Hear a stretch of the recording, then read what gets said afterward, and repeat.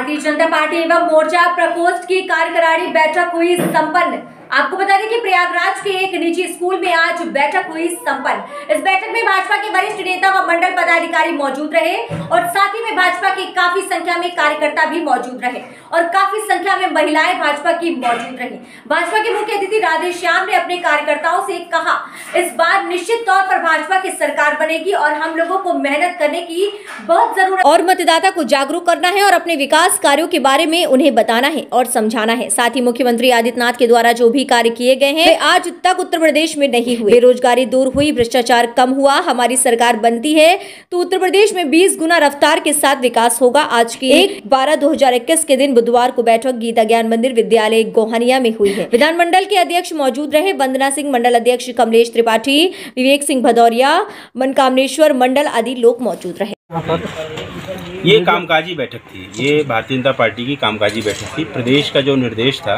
Bharatiya Janata party के कार्यकर्ताओं तक तो पहुँचाने के लिए मैं यहाँ आया था।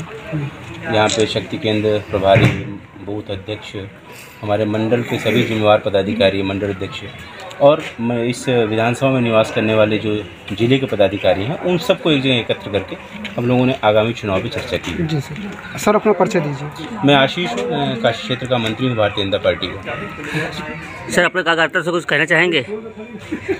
कार्यकर्ता हमारे बहुत उत्साहित हैं जी। और कार्यकर्ताओं में दुगना उत्साह है। हमें लगता है कि 2017 दोहराएँगे नहीं इस बार हम लोग साढ़े तीन सौ पार होंगे। बहुत बहुत धन्यवाद आपका। धन्यवाद।